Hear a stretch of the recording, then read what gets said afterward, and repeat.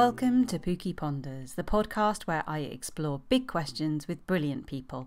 I'm Pooky Knightsmith and I'm your host.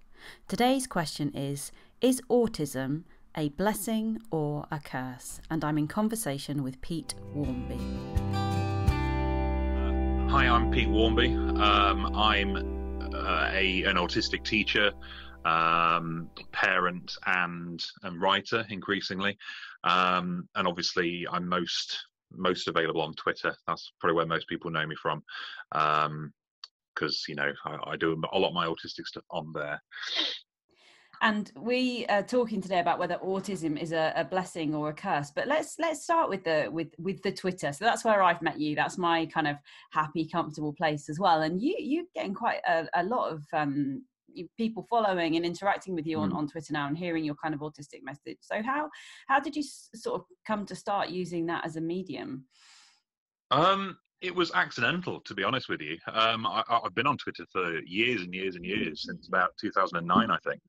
Um, but I, I, only ever really moved around the education circles, you know, kind of getting involved in the debates there uh, which for anyone watching is always quite an exciting thing to do.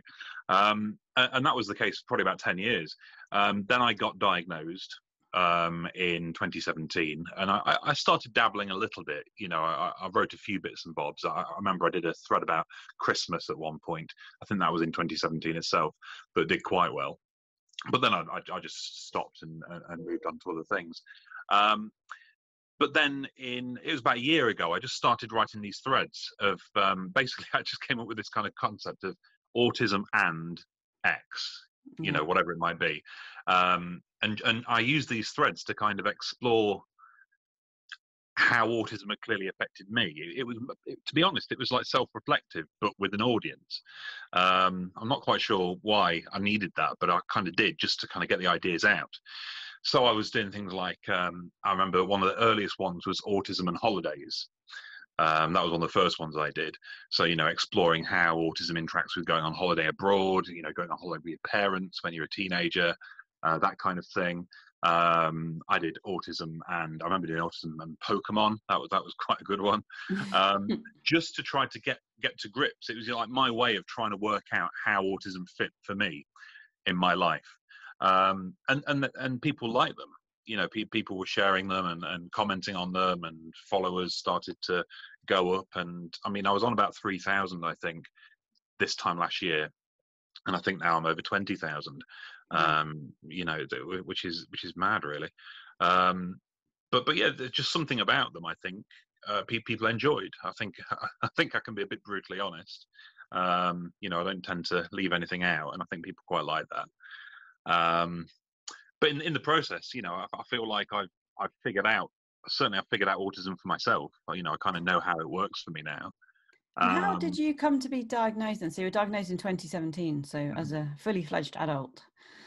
Well, yeah. Um, it was well, it was all really about the birth of, of as I call the child, because um, I like to try and keep it as private as possible. I don't want people to know anything about them. Um, but yeah, the, after they were born, um, things like you know the sleepless sleepless nights and the worry and the stress and all those kind of extra bonus things that you get when you become a parent um, they all started to add up quite a lot and things were very difficult and, and I, I think i came down with a you know basically depression at one point um, but i didn't know why you know me being me i wanted to understand you know what the issue was and why it was that you know other parents didn't necessarily have the issues that i had sorry about that. That's a car going by. Um, the the worst thing I think was the the loss of personal time. You know, loss of kind of downtime. Um, you know, as soon as a child's in the mix, you just don't really get anything like as much of that as you're used to having. Um, and I noticed that, and that made me wonder, and it made me think. And I was doing things like um, CBT, and I was I was working, you know, I was getting some treatment from the NHS, you know, the CAMHS sort of stuff, and it was okay. It was you know semi useful, uh, you know, in the counselling and in the talking, you know, it just became more and more clear that there was something else going on underneath. So I mm. started researching, you know, possibilities like ADHD and autism and things like that. And um, and yeah, it just autism just seemed to fit. So I I, looked into it more. Um, I spoke to people who knew me to see what they thought about it, and I went to the doctors, and they, to be fair, were very, very good. You know, I got a, I got a um, referral instantly, which I understand is not common no. at all. Um, you know, so I, I, think between asking the GP and being diagnosed was probably about four or five months. Wow, that's quick. It is, yeah. I don't know whether there was just a, you know, hardly anyone in Wiltshire um, getting diagnosed at that point. I, I, have no idea why it was so fast, but it was it was very rapid. Um, so yeah, it was. Sorry. No, I was just going to say, was it important to you kind of getting that label? It sounds like you were doing quite a lot of soul searching and trying to make sense of yourself. It was, yes, yeah. I think it's a common thing amongst a lot of autistic people that you, you because of how it affects you and how you um, how you have to sort of deal with the complexities of life with autism in a, in a way that can be upsetting for a lot of other people you know like let it you know you let people down because you can't face the social stuff you um you have to go and hide away in a you know quiet room for a bit and that upsets you know there's a lot of kind of social guilt i think around autism yeah. you know um and and i think a lot of the time that can that can um sort of crystallize as, as autistic people feeling very very strongly that they're bad people. Mm. You know there's something wrong with them in a very bad nasty way like they're rude or they're lazy or they're obnoxious or they're whatever negative adjective you want to use really. Um, and i think that's quite pervasive so for me it was it was it freed me a little bit from those feelings of, of kind of guilt that i've had over, over my life of being a bit flaky and a bit unreliable and all the rest of it um, which was nice. You know, I mean, but it hasn't didn't work entirely. You know, I still have those feelings, um, but but it helped a little bit, um, and it also just helped me understand why you know why my life has gone the way it has you know? What do you uh, mean? Like what?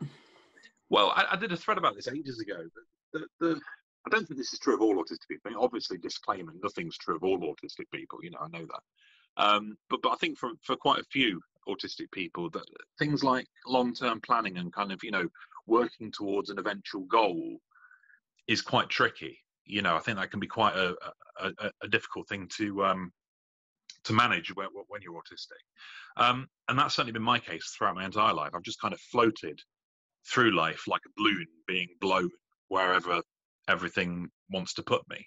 Mm-hmm. you know, I can't say with any certainty at any point, apart from possibly now, where I am actually doing something that I want to do, that um, that I'm actually going about and doing things that I genuinely wanted to pursue. You know, I just feel like I've been buffeted around and and just like blown around by by the whims of the world around me. You know, um, for example, I mean, I'm a teacher, but I never wanted to be a teacher. Um, you know, I think I'm relatively good at it, but it, you know, it wasn't my, it wasn't an aim. I just kind of ended up doing it. As, as far as you can end up doing something like that. That's quite um, a, a, big thing to just sort of end up doing. but honestly, it's, it's, as close as I can describe it. Um, I remember at the time I was working in a in an office um, for this first aid company in Lincoln, and um, and I wasn't very happy. You know, the pay wasn't very good, and I noticed the teachers were being um, that year teachers were being paid quite a lot to train. I guess there was a shortage, mm. um, and I was just like, oh, okay, well I could do that. You know, my dad's a teacher or was a teacher. Um, he's retired now. Um, so I thought, yeah, I could do that. So I just signed up, and you know, it was it was there was no kind of no thought process really apart from just oh money okay that would do and off i went you know and, and just kind of see where everything would take me just you know kind of born by the current of the world. Um do you think te- is teaching a, a, a, job that is made easier or harder because you're autistic? Harder. It must be. It must be. I'm, I'm, I'm i mean like i say I've, I've, done okay in, in in the job you know um i like to think i make a bit of a difference but you know the positives of autism so for example i don't know like you know my, my subject knowledge is good because i've kind of absorbed everything so much over the years and you know um you know been kind of hyper fixated on a lot of aspects you know because i'm english teacher so hyper fixation on the books that i teach and that kind of thing that that helps a great mm-hmm. deal um but when it comes down to the you know the day to day like the anxiety of, of every class coming in you know, never never going away at all. You know, literally before every single class, you know, it's five a day. I have the same level of anxiety as I had back in the first year of teaching. Wow. You know, that feeling of I don't want to do this. This is scary. And then they come in and it's okay, you know, and I get on with it, you know, and um, and then they go and then it all happens again. You know, and for the longest time I just kind of accepted. I just thought that's how it was. I thought that's what teachers did. You know, no no one likes being in front of a class. Um, I just I just rolled with that because, you know, in all things I always just assumed that whatever issue I had um, was was shared by everybody. Um, now, of course, I know it's not really the case. Um, so yeah, that's that. That you must be exhausted by the end of term. I mean, I know teachers are generally always, but to feel that level of anxiety before every class every day must be wearing. Yeah, well, it is, and then you got the masking on top of that. You know, because mm. when you're in, in, front of a class, I mean, I, I have ways of doing it. When you're in front of a class, there's no way to decompress. You know, um, if if if you get stressed or if you feel like you know things are starting to kind of um, cycle, you know, sensory issues or whatever like that, you know, when you've got 30 kids in there like looking at you, you have to stay on top of it. You know, I mean, I I developed my one kind of um, mechanism for avoiding you know that getting too bad was was to you know get the kids working on something and then sit down at my desk mm-hmm. and look at something nice on the on on wikipedia. You know something that interested me like i'd be on and you know the kids would see and they'd, they'd see you know what's mr wharmby doing on google maps? And they'd, they'd ask me say sir what what are you doing? Like, i'm just looking. You know i'm just i'm just tracing old train lines you know across the country because you know that that calmed me you know tremendously and it really helped. Um, but then of course I, I, I, mean obviously it's very likely that colleagues might might see this but uh, that leads to guilt then to, or what if i get found out? What if people find out that during lessons you know i'm spending time on google earth looking at the old um, you know the old remnants of industrial britain. Um, I'd like to think they wouldn't be too cross about that, but still, you know. I suppose it depends um, on how the children are doing, isn't it? I mean, that's it. If the it children does. are focused and they're, they're achieving, then. Uh... yes, so are they actually learning anything? Hmm. Um, but yeah, I mean, uh, generally speaking, I've I've been I've done pretty well, but but yeah, it's it's that kind of constant feeling of you know you're masking, you're pretending, you're acting.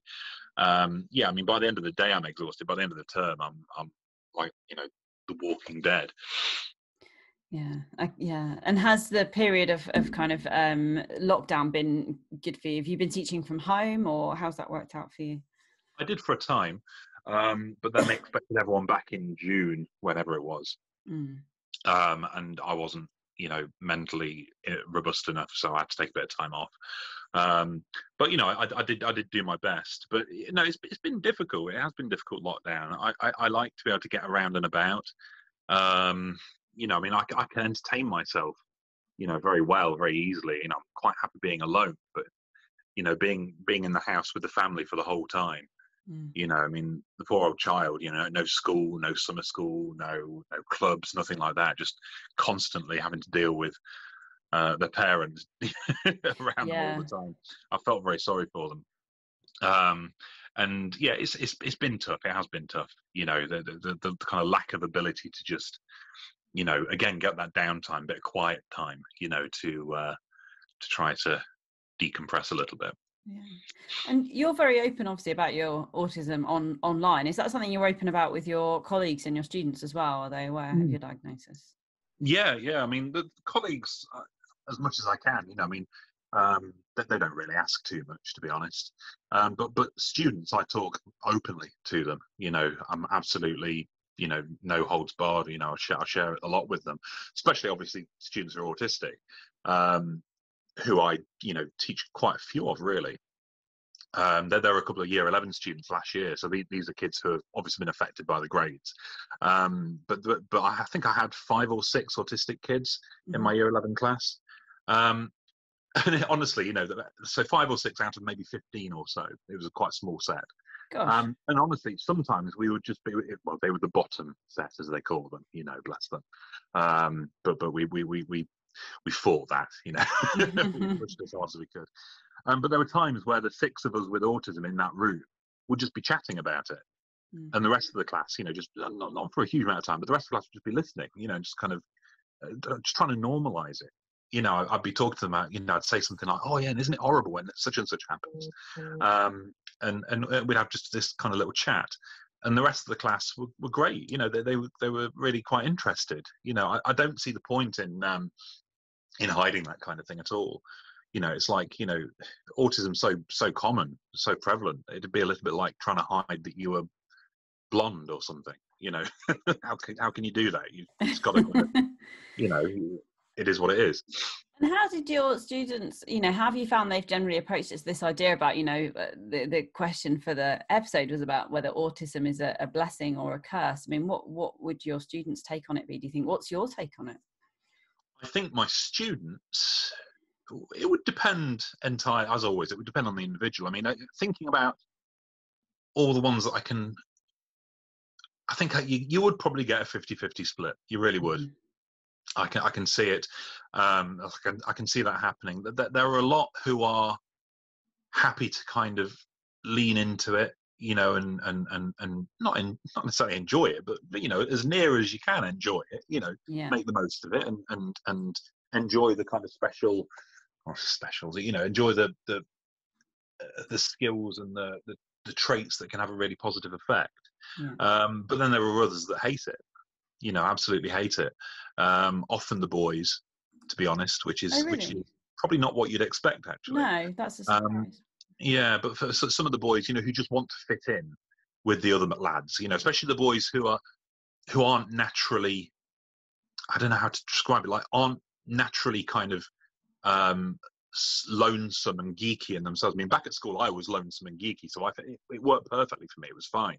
but for those autistic boys who um, who want to be in a, like a little gang and want to be a bit naughty and want to do the teenage boy experience, if you know what I mean.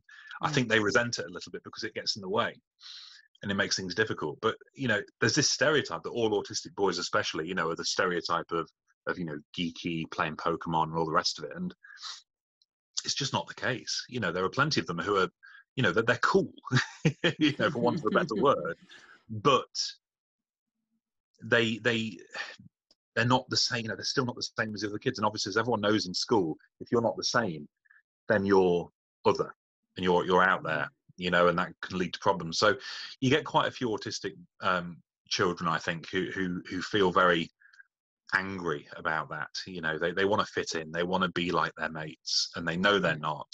And there's a bit of bitterness there, I think. Do you think school is a particularly kind of challenging time if you're autistic? Because that whole thing of wanting to fit in is that's tough, isn't it? Because you can be an adult who is different and individual, um, and yep. that's often celebrated, isn't it? But as a child, that's that's harder, isn't it? Yeah, you've got to have a very strong personality, I think, as a kid to to to kind of embrace being different. I mean, they, you know, plenty of children like that do exist. I mean, I teach mm. a fair few of them, you know, who are quite happy to be different and are quite happy to stand out. But you need a particular kind of mindset for that, I think, and it's not particularly common. Mm. Um, I, I, think I think school is a nightmare for autistic people, um, teachers, teachers and students. I think that you know the whole system is one of those that's. I mean, let's face it, education hasn't really changed very much over the mm. last God knows how many centuries. You know, I mean, obviously more people do it now, but the actual kind of basic idea behind education, you know, you do it from the age of what four to the age of eighteen. Um, you learn these particular subjects. You go to lessons. You know, you go lesson to lesson, different teachers. That whole kind of structure and system has been set up over, you know, centuries now, probably. Yeah. Um, just doesn't work for autistic people. It really doesn't. You know, I, th- I think you know we've, we've made the best of a best of a bad job, and we've tried to cope. Um, and you know, autistic people throughout the ages will have done their best, and they will have um, tried their hardest to to to kind of um, move along with this kind of mechanism that school is. But it, it's it's not it's not really built for us at all you know it's a really not, challenging environment and apart from the mm. sort of social construct of it just the, the kind of the physical environment as a sensory experience i go oh, yeah. often to schools in my work and find myself thinking how did i manage this as a child and then of course i reflect well managing is a big word and i was you know an, an anxious depressed anorexic who self-harmed and was often suicidal so maybe i wasn't really managing that well yeah, came yeah. out with decent grades but yeah a bit of a mess but it's it's really it's a tough environment and, and presumably you know for you as a teacher as well yeah i mean it's okay for me because you know apart from when covid strikes i can just sit in my room mm. um, you know, and, and, the classes come to me, and that's fine. You know, that gives me a little bit of kind of ownership. I mean, you know, my classroom, as you can probably imagine, has got some Lego in it. Um, uh, not a distracting amount, although at times. Um, but but you know, it's mine, it's my space, and I feel relatively safe there. Um, but you know, if you, if you're a, an autistic child, you know, you you let's imagine that you you know you get settled into a lesson that you really like, um, and you know, bonus of all bonuses, they're looking at a topic that you're really interested in. Yeah. Okay, so let's, for sake of argument, let's say we're doing English and you're really into Victorian literature and that's what you're doing. So for an hour, you're like completely immersed and you love it. And then the bell rings mm. and you've got to get up and you've got to say bye to all of that and go and do PE. Yeah. You know, you've got no choice. You've got to do it. If you don't do it, you're going to be in considerable trouble. Uh, not that that puts a lot of autistic children off. I mean, you know, when you think about how um, how frequently autistic kids are excluded and things like that for for you know bad behaviour as they call it, when often it's just a, a case of self defence, you know, and self preservation. But you know, this poor hypothetical kid, you know, who who loves English, you know, forced to you know drop it at a moment's notice and go and do a completely other totally different subject, one that they don't maybe not don't like, one that's completely different skill set, one that they're probably not very good at, one they're not interested in. And then after another hour it's another change, you know, and bang, you're doing something else again. And it's it's not something I could I, I would want to do again. No. You know, if if if and, and I did have the chance of doing this actually a while back. We were encouraged to kind of shadow a, a child. Uh, sounds kind of sinister, but it, it wasn't um, you know, we just kind of had to go around the school, like, and see it from their eyes, you know, kind of experience the school day from the eyes of the child to remind us, because obviously for some of us it's been a very long time. Um, and I hated it, absolutely mm-hmm. hated it. You know, the only time I've done that as an adult was um, when I was a governor at a special school, and of course, special schools operate quite differently. Um, mm. And it, it was it was okay, still challenging, but yeah, I think very different than that idea of you know every hour you're moving on to something different. I think yeah. Yes, so you yeah. declined the opportunity. well, I did it for a bit, but yeah, it was it was an unpleasant experience. You know, I'd yeah. never do it again. Um, so tell me about Lego then. So yeah, just just going for all the autistic stereotypes here. You like Lego? I do, and and to my to my credit, I like Lego trains too. So oh, well done. You know, that, oh, you good autistic you. yeah, yeah. Um, so yeah, yeah. Lego. What can, what can I say? It's I'm currently I'm, I'm, I'm writing a book about this actually at the moment. I mean, it's it's only just been finalised, but it's about special interests, hyperfixations, and I'm going to have a whole chapter, obviously, on on Lego. So it's it, it's difficult to get my thoughts in order about you know what it is about the stuff. Um, it's the it's it's the, almost like something to do with the tactility, like the way it feels and the way it looks. Yeah, I can remember when I was being diagnosed. I mean, this must have been the moment where the person diagnosing me went, right, yep, stamp autistic, um, because because they said, you know, why do you like Lego? And, and I went into a kind of flight of fancy about, you know, I don't know how familiar you are, but when, when you buy a new set of Lego, and it's all in the little bags. Yes, yes, yes and um, exactly that's the yeah sorry i love lego too. As an adult i haven't gone there but you're making me go i should my children need to learn lego. I need lego in my life yeah, yeah. Um, well you, you know you get those bags and, and you feel you know that they're heavy because it's good quality stuff you know it's good it's well made you know there's something nice about well made things um, but you know the, the colours and there's all the little translucent pieces, and honestly, it's like gems. They're like little little jewels. Mm-hmm. You know, just all, all, all different colours, all different shapes, all very shiny and new and exciting. And not only that, but you know, when you take them all out of the bag, these little jewels end up creating something bigger and better. It's it's it's, it's incredible, really. And do um, you always follow the instructions, or do you freestyle? I do both. Um, you know, if I buy a set, you know, like these ones here, um, I'll follow the instructions. Um, but then with any spare bits that I've got, or if I decide I don't like a set anymore, and I just kind of dismantle it and use it for other things, I'll I'll do, I'll do my own thing. Um, and I design I, I, I, design sets online as well. Um, there's kind of programs on on on the internet where you can um, create kind of electronic versions of sets.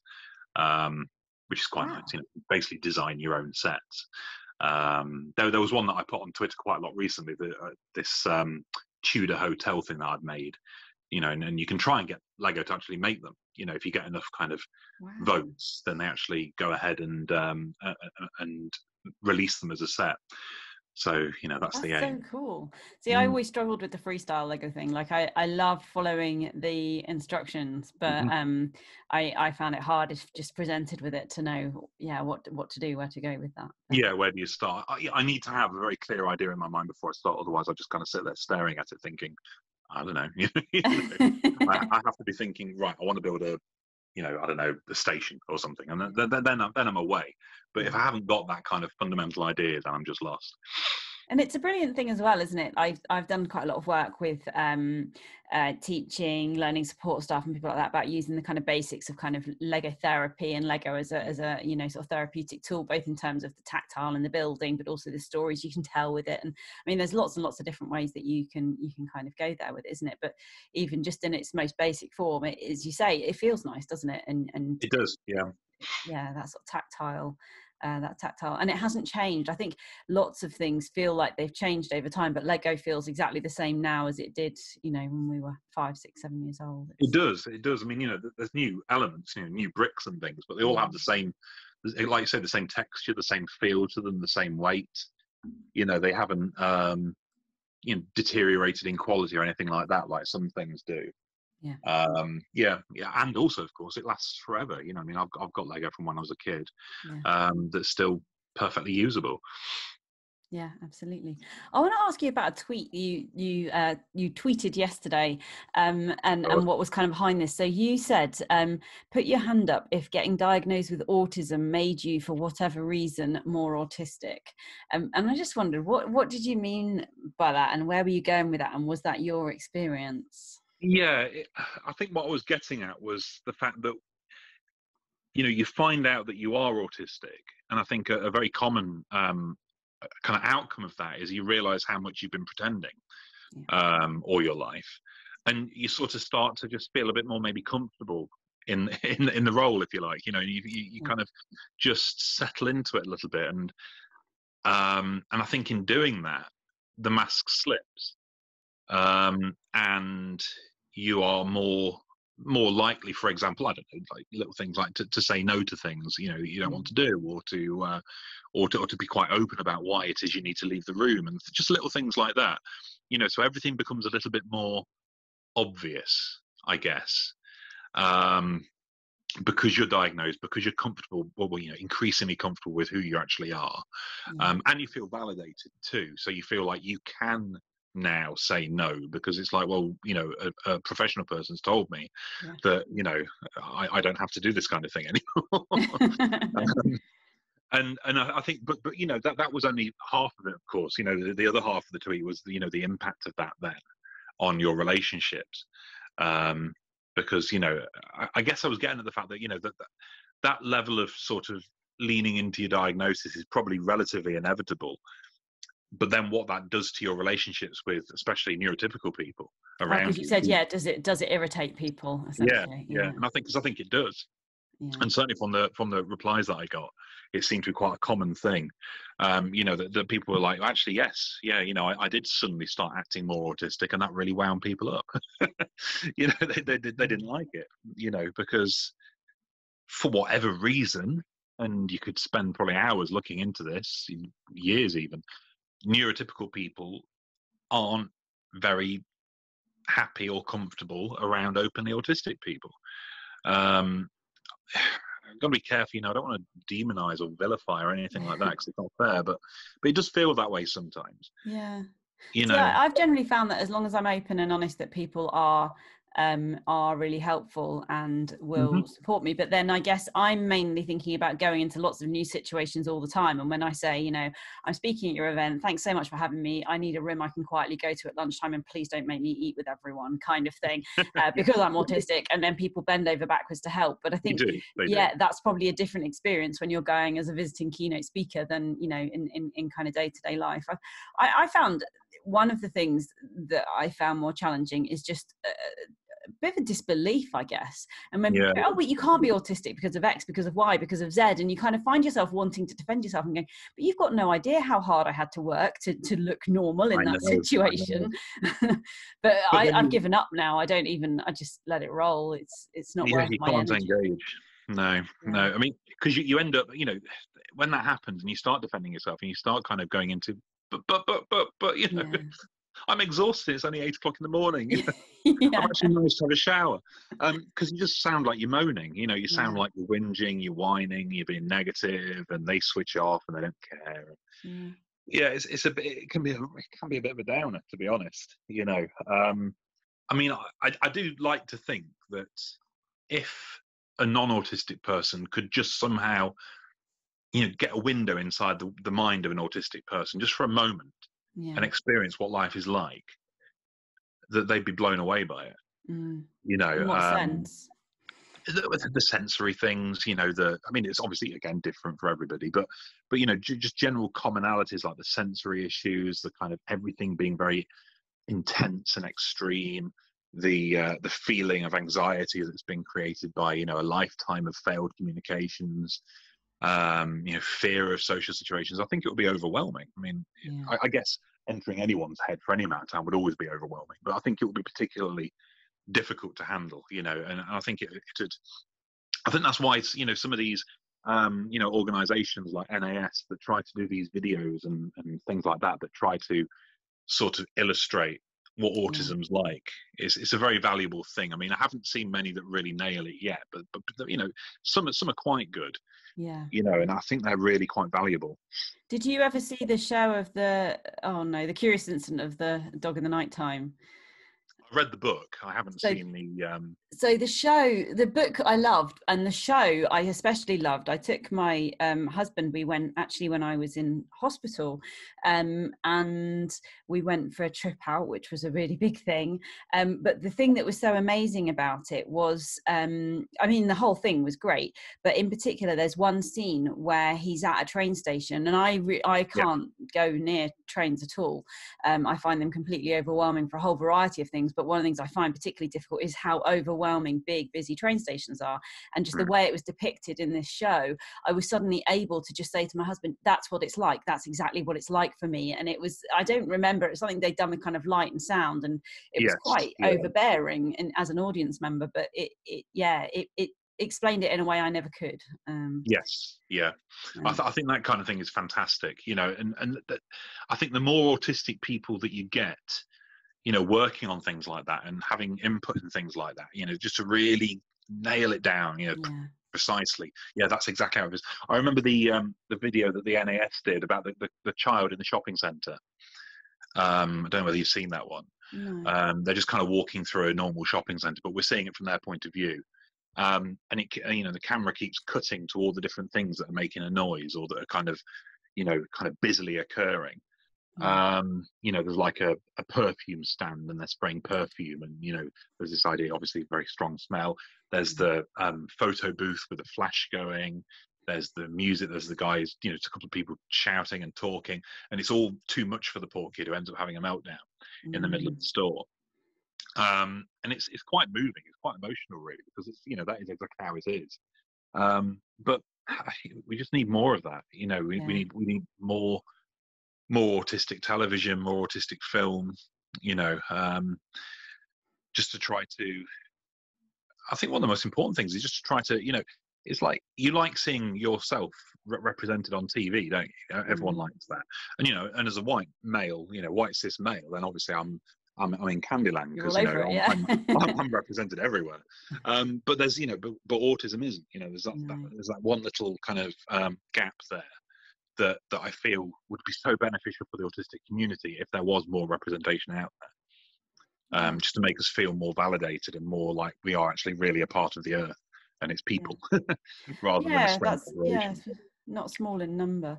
What do you do Mm. you feel about like see i i've had a, one of the one of the challenges i have with diagnosis hey i i felt quite stupid to finally be diagnosed um without having any clue that i might be autistic having worked with autistic people and and knowing about it as a condition for many many years it hadn't occurred to me that might be my my story. But um also having you know things like having worked with a special school um which um supported children who um were you know very much more challenged by their autism than I am.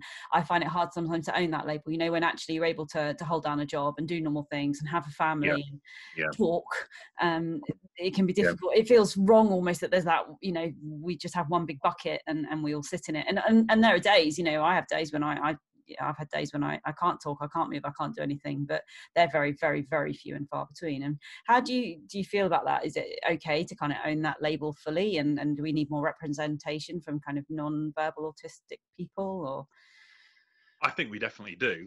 Um, the, the the thing is, there's quite a lot of non non-verbal autistic people out there who are, you know, trying very hard to, to you know make make make themselves um, make themselves known. You know, uh, Mm. blogs and things like that. Um, but you know, because the, the, their number is obviously slightly lower than than you know the, the rest of the autistic community, it's very difficult for them to be noticed. You know, above Mm. the kind of hubbub. I mean, I try when, when I can, you know, to, to kind of uh, raise them, but I don't do it enough. Don't do anything Mm. like as much as I ought to.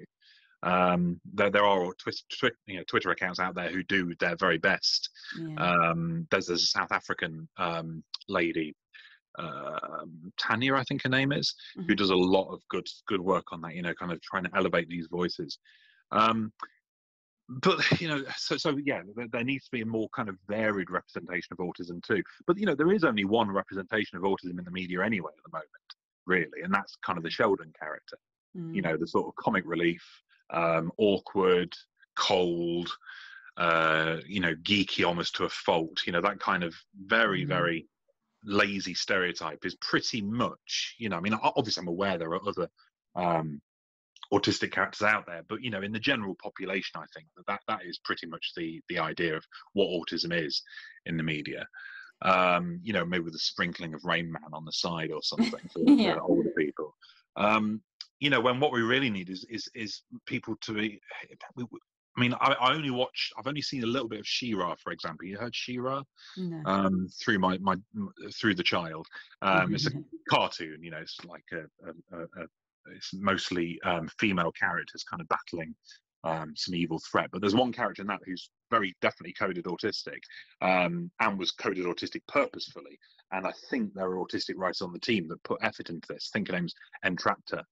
Um, and she's into technology and that kind of thing. But she's a very, very different sort of autistic character okay. you know she's, she's very enthusiastic very excitable really passionate about things you know like very different to sheldon very different to um who else is there you know the kind of typical characters and i think that's brilliant i think that's Mm. fantastic and we, we need a lot more of that you know because otherwise there is just this kind of one avenue of of of you know um one trope if you like of autism in the media Yeah. and it's it's just no good Uh, when, when it comes to owning the label i mean obviously all you need to do is spend a day on twitter to know that there's a lot of argument about about this kind of thing you Yeah. know um you know high functioning labels those kind of things you know and and um i'm I, i've always been on the side of of if you're autistic it doesn't matter how your autism you know um manifests you are autistic and that will have Mm. challenges and even though those challenges might be hidden and might be you know kind of easily easily um masked over it's still there and it's still very very difficult um I, I think but you're right it is difficult because you know it's, it's such a wide range of experiences all kind of um plonked under this one label Mm. um that you know it can get a bit unwieldy but you know when you think about you know i mean humanity is quite vague and enormous and different in all of its different That's true. we, we still talk about human rights don't we? You know there's like a, a fundamental set of things that should always be the case. Um so yeah I, I think it's important for autistic people even if they feel like their phone is you know like they're they're um intruding on the world because you know yeah they've got a job or they've they, they can speak in public or whatever. I think it's important to still own it because there will be things. I mean i'm going to finish off this for example and i've you know i've been talking away and all the rest of it but after this is done i'm going to be done for the day. You know this this is going to wipe me out. Um and i think you know unless we own that and we you know and we, and we share that experience um autistic people are still going to be you know have prejudice against us. You know, yeah. I think we need to we need to be very open about about the, the challenges and the difficulties. I think that's important, actually, isn't it? That's something I've tried to be a bit more honest about in my own experience, not just with autism, but just more generally. I've got a whole range of different challenges. Like quite how intertwined they are, I don't know. But I think quite often people only see the public facing bit, don't they? And if they if what they see is you standing up on stage and you know looking good and well put together and that's the day you've washed your hair and you're presenting well then that's great but if they don't see the bit where then you know for me i'll have to go off and climb or literally spend time just on my own or mm-hmm. just not manage for a day or two like you it's yeah. you know yeah. it's a bit of a roller coaster and people only see the bits that you you allow them to see so it's about how how brave we should be in sharing those bits although so autism comes in many very different guises. Do you think there are any kind of universally helpful things that the world and other people can do to to help to support? If i could wave the magic wand um, i think the one thing that i would ask uh, you know for, for people for non-autistic people to have for autistic people is just automatic belief. You know automatic oh okay well you just told me that you're autistic I'm going to believe that. I'm not going to question it, either openly or in my own mind. Mm. I'm just going to go, oh, okay, and then work with that information. Because it is terrifying how little that happens. Yeah. You know, it really is. And I think that that is behind some of the most difficult stuff that we have to deal with. You know, um, if, if you say that you've got a broken leg, Mm. And uh, that's not a great analogy. I understand that, you know, because obviously broken legs are a thing that happened to you, and you know they get better. But just as a for sake of argument, just because obviously it has it has effects that makes your life more difficult. If you tell someone you got a broken leg, um, then then there's kind of instant. You know, everyone just moves mountains to help you, don't they? You know, and yeah, it's just yeah. a completely different thing. You say to somebody, for example, that you're depressed, just to bring mental health into it and that's a whole new world then of ooh mm. okay don't know how to deal with that. What on earth you know why have you shared that information? You know yeah. we didn't need to know that like it's a taboo it's a dirty thing almost. Um, you say you're autistic and yeah like you said the first thing you're most likely to get especially if you've just been on stage or especially if you're a teacher or you're i don't know you, you you're adept at masking the first thing you'll get is no you're not yeah. Don't be daft. and almost like that's a compliment, isn't it? Like, yes, yes, yeah. yes. Like, don't be so hard on yourself. Yeah. You know, don't put yourself down like that. it's not put myself down. I'm telling you that I'm, I am this thing. It's like you know, yeah. saying, "Oh, I've got a beard." Or oh, don't put yourself down like that. you know, don't, don't, don't be so rough on yourself. It's not you know you, you can barely see it. You can barely see it. That's not the point. Um, it's it's really really strange that that is the first but i think it is. It's a kind of a really it's like a misfiring of the human desire to make people feel better about themselves. Yeah. It's like it's coming from a good place you know we, we all when you know if somebody says oh i feel really down you know um, blah blah blah and you say oh don't worry it'll be fine you know that's that's our automatic reaction. We try to make people feel better and happier. It just misfires with autism more than yeah. pretty much anything else i think um, ADHD possibly. Um, but you know, with autism, you, it just seems to trigger this response of, "Oh no, no, don't be so. You know, don't don't feel so bad. You know, like it is a really negative thing. Like you know, yeah. and it isn't. You know, it really isn't. I mean, if it wasn't for autism, you know, I I wouldn't. I wouldn't have any of the hobbies or the interests that I have. You know, I wouldn't have the brain I've got. I wouldn't have the the the skills I've got. You know, it's it's completely you know intertwined with everything that, that makes me me. And it might be a bit rough sometimes but it's you know it's not something to con you know you don't want condolences for it. No. You know no absolutely not. What do you think is the best thing about autism? For me personally the best thing is is just the way my brain works um, which i i oops something like it um, um, which I, I, think I can ascribe a lot of it to autism. I mean, some of it's probably not. Some of it might just be you know how my brain works you know w- without autism but um you know things like i don't know like it's very hard to describe how things work in your own head but it, like like visual imagination for me is very very very strong you know really quite potent and that's not the same for all autistic people. I mean you know uh, aphantasia and things like that can, can can be like the exact opposite. But for me autism seems to have kind of manifested in just this ability to you know hold in my head entire like places that aren't even real you know um and i've spoken to a few other autistic people who've got this you know and we, we almost use them as a kind of escape hatch to, to run away into you know I'm, to I'm a bit um, jealous of that. I, I, know I, I would be. But, you know it's, it, it's that i think you know that, that is behind some of my love of certain things like lego for example make, making my own little world. Um, minecraft you know the, the video game was is a huge thing for that.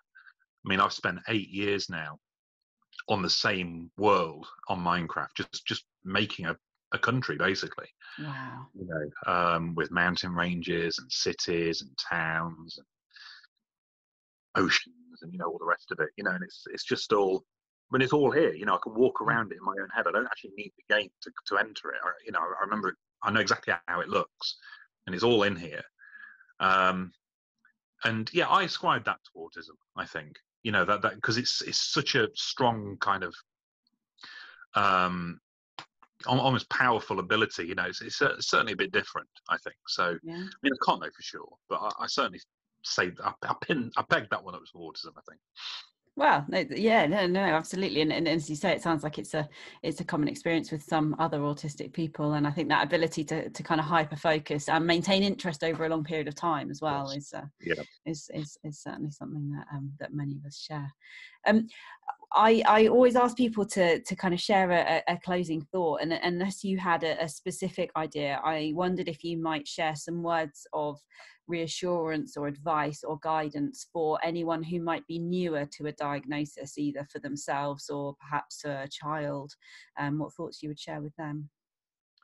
Um, I guess you know if you're new to a diagnosis for yourself or someone near you, I think the most useful thing you can probably do is is, is listen, listen to other autistic people. Um, not because they've got all the answers or because they're somehow, you know, guardians of the knowledge or anything like that, but just because, you know, there's a lot of us who are really willing to talk.